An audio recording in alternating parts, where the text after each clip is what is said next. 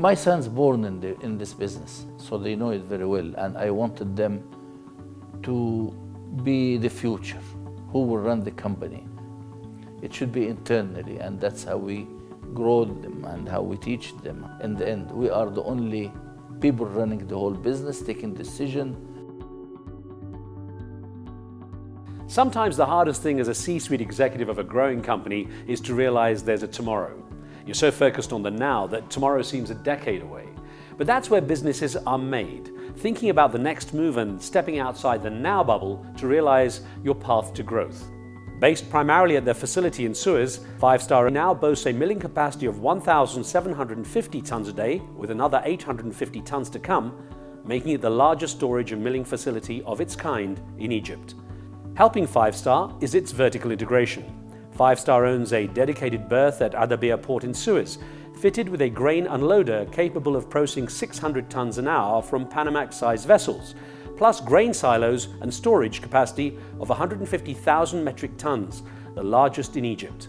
The company today is involved in milling, animal feed milling, and a polypropylene or PP weaving facility making packaging bags, all right here in Egypt.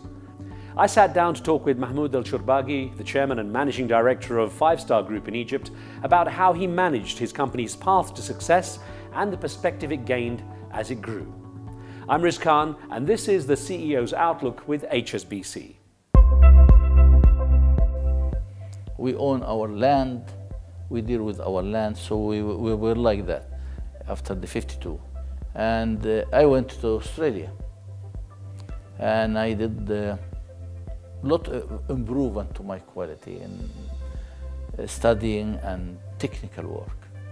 And I wanted to come back again to our area, but I wanted to do something out of the scope of Egypt. I want to do something more international. I've been in flour milling everywhere, and uh, now it was the chance to do what I want. So I started with uh, the first flour mill, and it was a surprise because from the first three, four months I was running seven days and demand was unbelievable. And after six months, we started to build the second mill. And again, it was the same thing. And then we went to the third mill and then the fourth and fifth. So, uh, and we had, the, I had to put the feed mill at that time, twice feed mill and was expanded to another feed mill. And the, the factory, Let's start with what uh, Five Star Group does. Uh, give me a basic description and, and the scale of the operation. A flour mill to produce first flour to different use. So produce flour for all the baked products, which is a big range, and for the biscuit, which is a different industry. We're producing also for the high quality biscuit and standard biscuit, and for the pasta. We supply a lot of flour to the pasta industry, which is very big in, uh, in Egypt. And in the feed mill, we produce big variety. I mean, all the different varieties of uh, feed milling for large animal, for poultry, for aqua feed in a big way, and for pets food too. So we're having the full range. We found always the one of our biggest problem is the bags. It was no bag manufacturer in Egypt can supply us with full what we need. And bags is important. If you bring it from two or three different suppliers, it looks different. So we had to add the uh, bag manufacturing. That's how we got into polypropylene. HSBC was with us from the first day. They financed a lot of our uh, new projects and they still do that. They help in many uh, financing studies and uh, advice.